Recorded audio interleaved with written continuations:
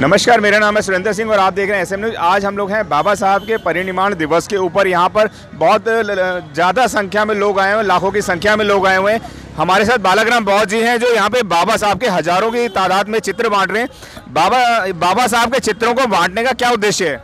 देखिए आज बाबा साहब का परिनिर्वाण दिवस है। जी।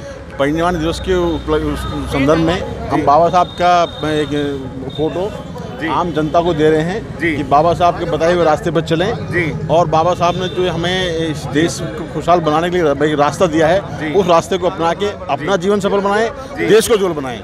इसलिए हम हैं। आज हमारे से यहाँ महिला भी हैं हम लोग बात करेंगे। आप ये जो बाबा साहब का चित्र ले जा रहे हैं क्या करेंगे इसका? मैं अपने घर में अपने बच्चों को दिखाऊँगी कि हमारे कौन हमारे महापुरुष हैं। जिन्होंने हमारे लिए अपनी पूरी ज़िंदगी लगा दी है। इन्हीं बाबा साहब की वजह से आज हम पढ़े लिखे हैं ऑफ़िस में जॉब कर रहे हैं। अच्छी अच्छी पोस्ट पर हमारा समाज बैठा हुआ है कोट पैंट पहनने लायक बना हुआ गा, गाड़ी में घूमने के लायक जो बना ये हमारे बाबा साहब की मेहरबानी है। आज बाबा साहब का परिनिर्माण तिरसठवां परिनिर्माण दिवस है। मैं उनको बार बार सत सत नमन करती हूँ और अपने आसपास पड़ोस अपने रिश्ते नातेदारों को भी ये मैं बताऊँगी कि हमारे बाबा साहब है कम से कम घर से निकलो और घरों में तो हमेशा बैठे रहते हैं। आज आज के दिन सबको यहाँ होना चाहिए था। आज नहीं तो कम से कम चौदह अप्रैल को सब लोग घर से निकल के आए और उन ये जो बाबा साहब के फ़ोटो मैं अपने घर में लगाऊँगी। आप देख रहे हैं यहाँ पे मैं कैमरामैन को बोलूँगा कि सबके चित्र दिखाएँ यहाँ पर। आप कहाँ से आए हैं यहाँ पर? मैं महाराष्ट्र पूर्णा पिंपरी चिंचोड़ से आया हूँ। जी मैं आपको बता दूँ कि ये महाराष्ट्र से हमारे साथी खड़े हुए हैं जो सिर्फ़ बाबा साहब के दर्शन के लिए आए हुए हैं। मैं यूपी आजमगढ़ से आया हूँ बाबा साहब को। बाबा साहब को मानने के लिए नहीं आया हूँ बाबा साहब की मानने के लिए आया हूँ। मेरे दो बटे बेटे हैं एक बेटे को डॉक्टर एक बेटे को इंजीनियर बनाया।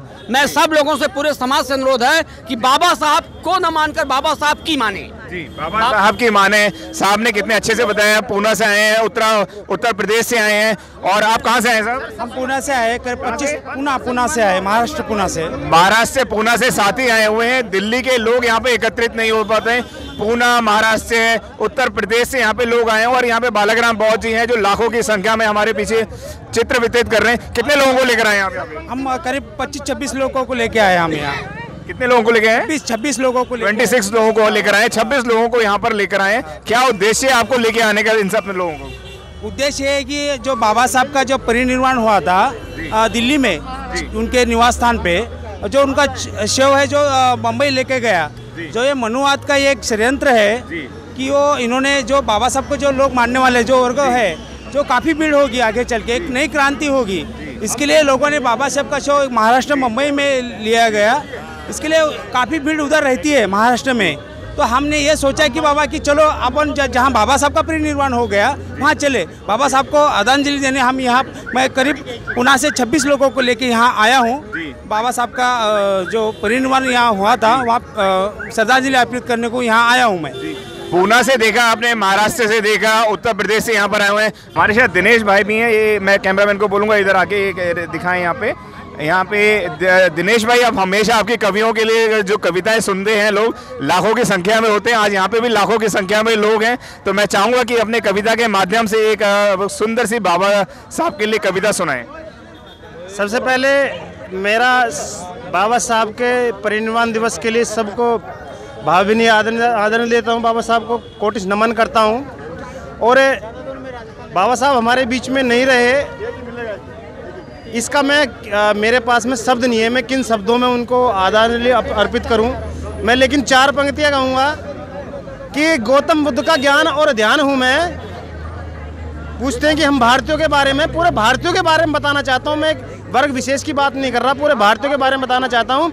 कि गौतम बुद्ध का ज्ञान और ध्यान हूँ मैं, एक लव्य के तुनीर का निकला हुआ बान हूँ मैं। अरे गौतम बुद्ध का ज्ञान और ध्यान हूँ मैं, एक लव्य के तुनीर का निकला हुआ बान हूँ मैं। और आकलन कभी ना करना मेरी प्रतिभा का। अरे आकलन आकलन कभी ना करना मेरी प्रतिभा का, खुद भीम का लिखा संविधान हूँ मैं।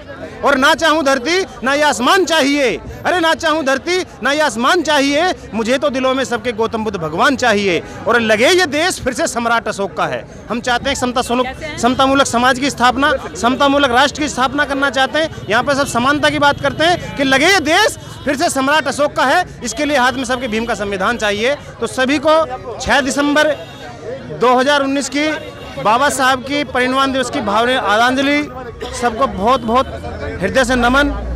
हमारे साथ मनीषा बौद्ध भी हैं जिनके भाई अभी 22 तारीख के रविदासी आंदोलन के अंदर जेल भी गए थे अभी जेल से आ गए हैं। मनीषा जी आज जो कार्यक्रम है इस कार्यक्रम में क्या करने का मूड है? आगे और क्या करना चाहते हैं ये बताएँ। जय भीम नमो बुद्धाय मैं मनीषा बौद्ध। आज बहुत अच्छा लग रहा है। सभी लोगों को एक एक तरह एक मतलब इकट्ठा देखकर और बहुत अच्छा लगा बाबा साहब के परिनिर्वाण दिवस पर। जी आप कुछ कहना चाह रहे थे? आप ये कहना चाह रहे हैं हम जैसे सदा काम करते हैं हर एक वाल्मीकि का बाबा का भीम का हमेशा यही करते आएँगे ज़िंदगी भरी इसमें ही जाए अच्छा माता जी मैं आपसे ये जानना चाहूँगा वाल्मीकि समाज से आपने बताया कि मैं वाल्मीकि समाज से हूँ। वाल्मीकि समाज बाबा साहब की हाथ के हाथ में तस्वीर है लेकिन घर के अंदर पूजा पाठ वाले भी लोग बहुत होते हैं। आए साल काम अच्छा, करते हाँ। बाबा का जन्मदिन आता प्रोग्राम आता सारे में आते हम जी, क्या नाम है आपका? बाला हैं? बाला बालाजी हमारे साथ हैं और बालाजी हमेशा साथ देते हैं साथ ही काम करते जी हैं। बालाजी वाली- वाल्मीकि समाज से हैं और उन्होंने कहा कि अब हम लोगों ने भगवानों को एक तरफ़ कर दिया है अब हमने सिर्फ़ बाबा साहब की बात करते हैं बाबा साहब के विचारों को मानते हैं बाबा साहब के मिशन को आगे लेके जा रहे हैं